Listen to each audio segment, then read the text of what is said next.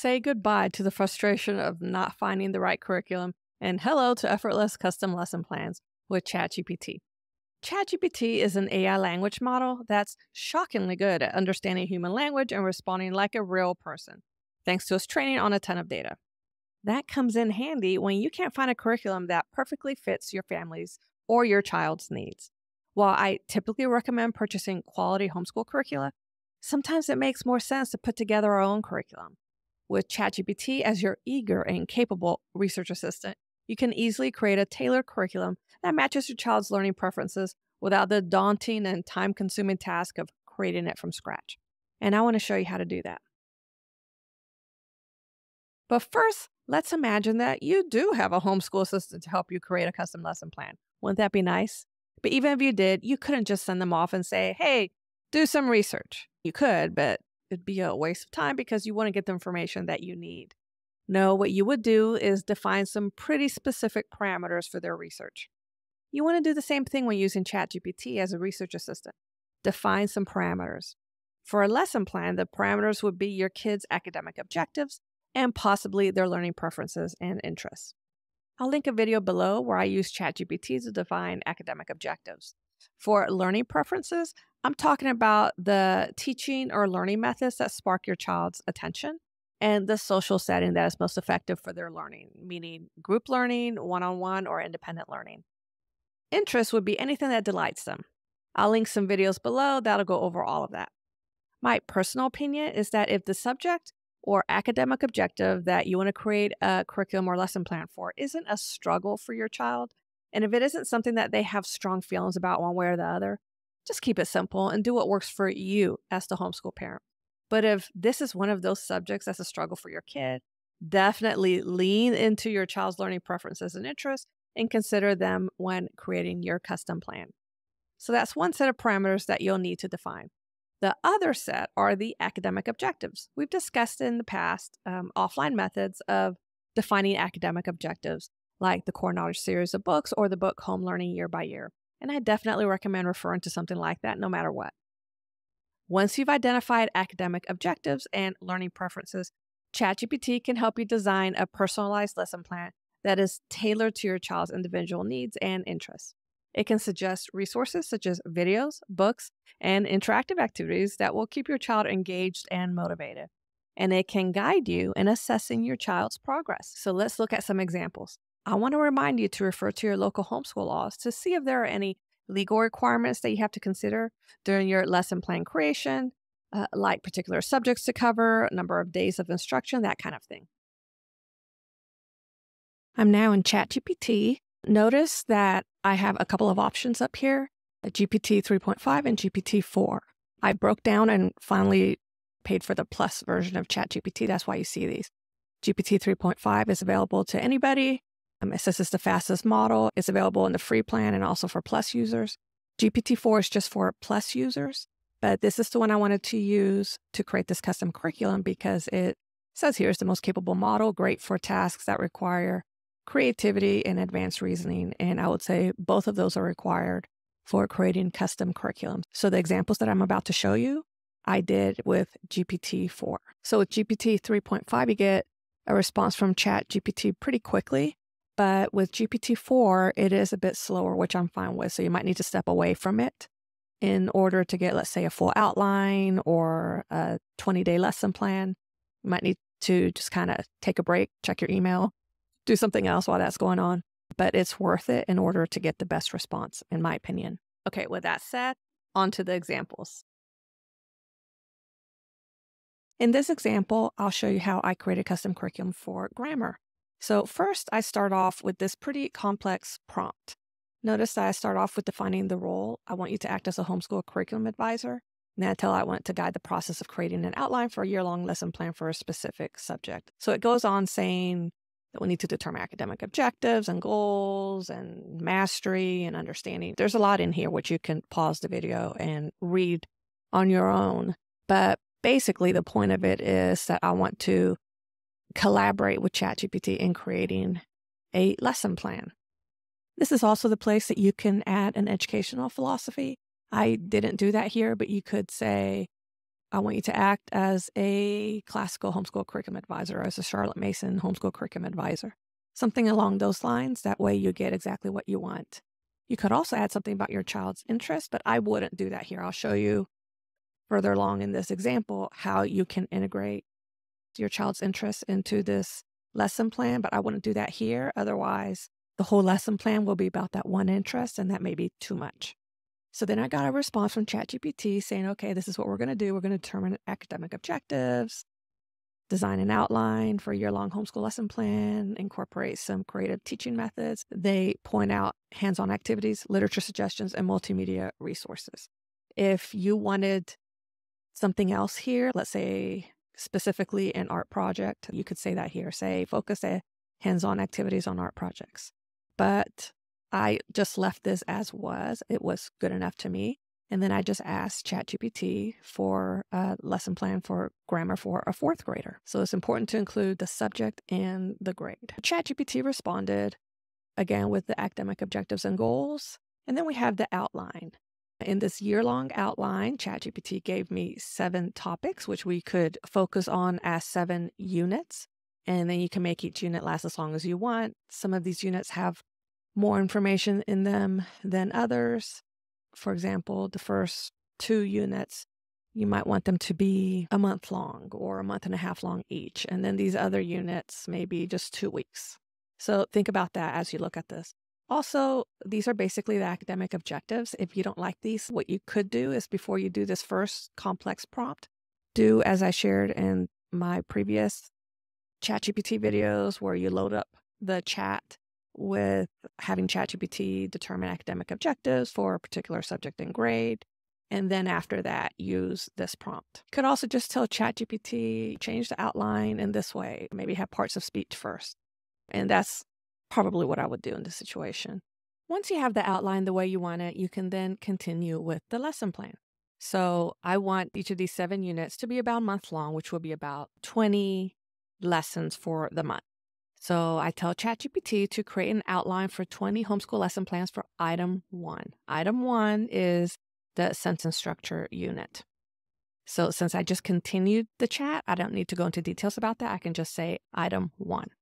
I did regenerate a couple times. I'll show you the first thing that I got from ChatGPT.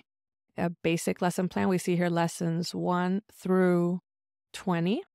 Each lesson has a title, which I like, and then has an activity, an assessment, and then a third thing an online resource or literature suggestion, multimedia suggestion. But it doesn't give many specific suggestions. So it does say a BrainPOP video, but there's not a link. So I'd have to go find that video. Does say uh, read a short story, identify simple sentences, but doesn't give me a suggestion for a short story. You know, in that case, you could just grab a picture book off the shelf. But it would be nice to have a suggestion. It says here, uh, study.com video on compound sentences. I would have to go find that. It does say here excerpts from Charlotte's Web to find compound sentences. So I, I just think it's interesting that it didn't give me literature suggestions for everything. I'd rather it do all that work for me because that's the stuff that ChatGPT is good at. I have three kids, all in different grades, two with special needs. And yeah, I could do the work of looking up all of these suggestions and finding specific links, of finding how to do each of these activities, build a sentence game using word cards. I could probably come up with something, but when you're talking about doing this for every lesson for a student for one subject, and you have other students that you are also teaching, that's a lot. And so I really want to use ChatGPT to do the hard work on the things that it's good at. So I did regenerate a couple times and I saw I, I, do like this formatting better. I do have a link here, a suggestion for the Frog and Toad books. I, I love Frog and Toad. I regenerated again and I really like this formatting. I like these really complete lesson title so that I really know what's going on. But again, I, I don't have all those specifics that I want. So I asked ChatGPT to update this lesson plan with links to online resources. So it did. It said, okay, fine. For each of these lessons, you could use this specific resource. And we have here links. Now, it does give the disclaimer, and this is something I've told you in the past, but here's ChatGPT telling us specifically It says, please note that while these resources were valid and active as of my last training data in September 2021, it's always a good idea to double check them for their current status and relevance. So all of these links are not going to be good because a lot has changed since 2021. If I click on some of these links, and I did previously just to save time, I'm not going to now, but this link was correct. The Starfalls Learn to Read link was correct. But I want to say the subjects and predicates game, it did take me to softschools.com, but there was something else at that link now for some reason, or it, it gave me something different than what I was expecting. That is helpful, but I wish it had integrated it into the lesson plan. If I regenerate, we see here, okay, it did a better job of integrating those links into uh, the lesson plan, but then the lesson plan, I believe, looked a little bit different. And here I regenerated a third time, and it just gave me, again, the links and their corresponding lessons. So I asked ChatGPT to update the lesson plan with links to the online resources, including all the other information as well. I discovered later on that really the best way to say it was to say, please integrate the links into the lesson plan. So that's what it did. This is more what I wanted. So I could just copy and paste it into a document and save it for use as I plan for the school year. I said, okay, now include links for videos, integrating them into the lesson plan. So we have the lesson plan with now online resource and video link. And I think it's better to have more information than you think you're going to need, more resources than you think you're going to need because I've been in many situations with my kids where I try to explain, let's say, a concept to them and they're not understanding it quite. So then I'm like, okay, hold on, let me see if I can find a video. And I go and look for the video. And that takes more time than I expect it to take. And then we get distracted with other things. And then sometimes they still don't get it. And I don't think to go look for an online resource. And so if all of this information is there for you up front, you use just what you need. Maybe you can introduce the concept to your child, watch a video, and, and then do the activity. And that's all you need. You don't need to do the online resource. Or maybe you do the online resource instead and don't watch the video. You have to use your judgment. I will say always watch videos ahead of time because a lot of these are YouTube videos. There's some crazy stuff on YouTube, but it is helpful to have all of this information at your fingertips when you're sitting down to do a lesson. All right, so then I said now include specific literature suggestions. And now this is a really good looking lesson plan at this point because we have an activity, a video to watch, an online resource, literature suggestion, an idea for an assessment. Very nice. Notice it only gives you through lesson seven. And then after lesson eight, it says, and so forth for the subsequent lessons. And you'll find that ChatGPT does this sometimes because it is a lot of information it gives you. There is a limit to how much in one prompt how much information ChatGPT will process and communicate to you, which has to do with a, a few different things, which we won't go into here, but that's okay. You can just say, hey, can you please continue with lessons 8 through 12, maybe. And and then ChatGPT will continue for you, or it should anyway. Always has in my experience. All right, so now I say, okay, I want instructions for activity for lesson two. And it was a sentence building was flashcards. I don't want to have to come up with that on my own. I know I could. I just don't want to. I'm busy. I got several kids and lots to do, and I don't want to spend all my time coming up with a game for all of these activities. So, ChatGPT gave me more than I expected, a very detailed explanation of how to do this activity with materials and instructions and ideas for things to write down. So, this is really nice. You could also probably go to a teacher supply store and go to the language arts section and find some ready to go activities like this that you can purchase. So you can go do that if you have money to burn, or you could just pull out some index cards and follow instructions for how to do this game with your kids. So then I continued on with lesson three, gave me a very detailed description of this game and, and even more information, literature integration, an extension, really nice. I think this is thanks to using uh, GPT-4 that has given so much information. At this point, I noticed that when ChatGPT gave me that lesson plan, it didn't actually include lesson three.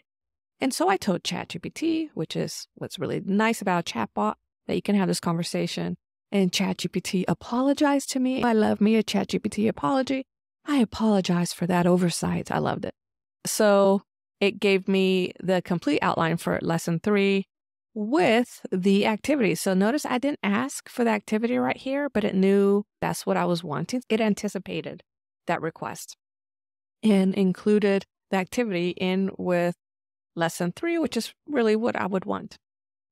So you can take this information that it's giving you the outline for the whole year, the outline for a unit, all of these activities, and copy and paste it into a document to save as your curriculum, your homemade curriculum for grammar for your student. There is a copy little button here. I don't like it. It copies it, I guess, in plain text format. It, it just ends up looking funny.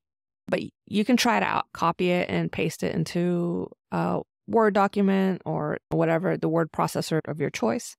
What I prefer to do is just to select it here. I just select the whole thing and copy it, paste it into a document, and then you can format that document the way that you'd like. So I promise we talk about incorporating your child's interests into your homemade curriculum. So we're going to do that now with Minecraft. My students love Minecraft, so I asked ChatGPT to update the complete lesson plan to incentivize a student that loves Minecraft but hates working on grammar. And ChatGPT seemed to really agree with me. Said, absolutely. Let's take advantage of the student's passion for Minecraft and integrate it into the lesson plan to make learning grammar more engaging and relevant. Really made me feel good.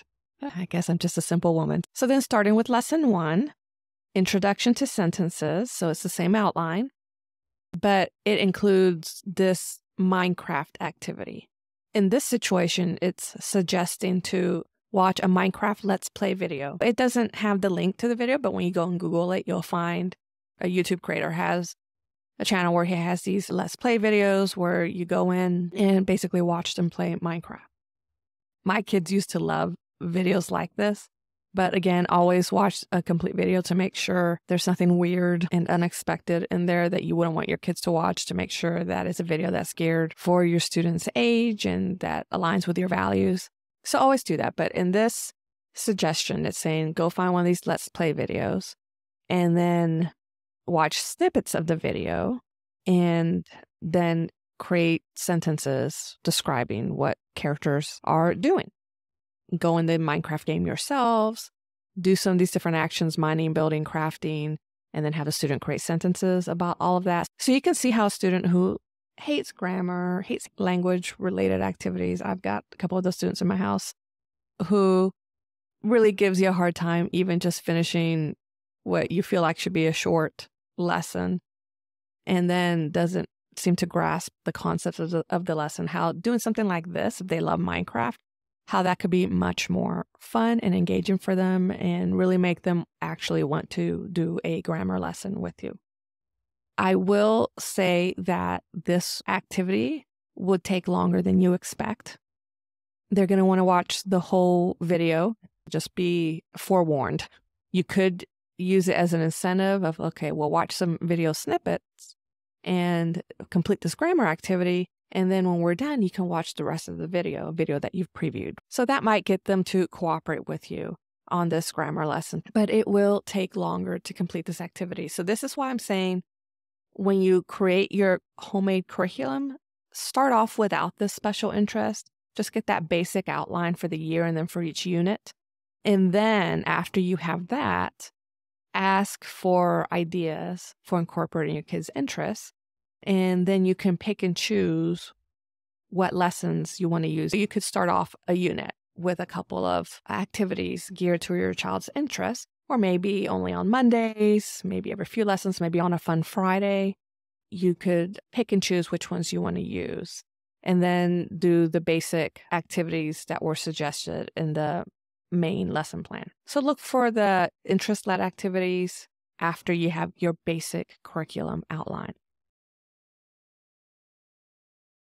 But what if instead of doing something like grammar, where there's already understood building blocks to a mastery of grammar. What if instead of doing that, you want to define your own units? For example, let's say for social studies, you want to do a unit on elections and then flesh out the rest of the school year with other units that you define related to elections or presidents. So let's see how we would go about doing that. I think this is the same prompt as I used in the past.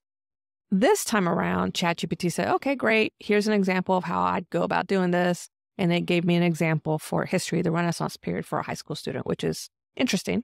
So I'm like, okay, cool. So let's now create 20 homeschool lesson plans about US presidential elections, combining fourth and sixth grade students. So I'm asking for 20 homeschool lesson plans about US presidential elections. And so it gives me an outline. So it starts off with an introduction, basics of the US government structure, historical perspective, the role of the Electoral College. So you can see there's a lot of interesting information here, but it seems a little bit advanced to me. So then I updated the prompt and said, okay, yeah, create those 20 homeschool lesson plans for fourth and sixth grade students, but each lesson should be 20 minutes long and include objectives, materials, needed activities, literature suggestions, and assessment strategies.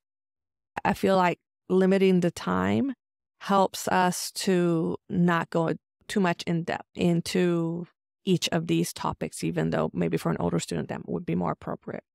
And so we do get more information now about each lesson. And so looking at it, this looks like it would be pretty good. And so that's how I would go about doing that. Very similar to when I was creating that grammar curriculum. I could tell it to update this for younger students. I could say integrate videos, suggestions, and literature suggestions, online resources. I could ask for a more detailed description of how could I go about comparing and contrasting party principles, that kind of thing.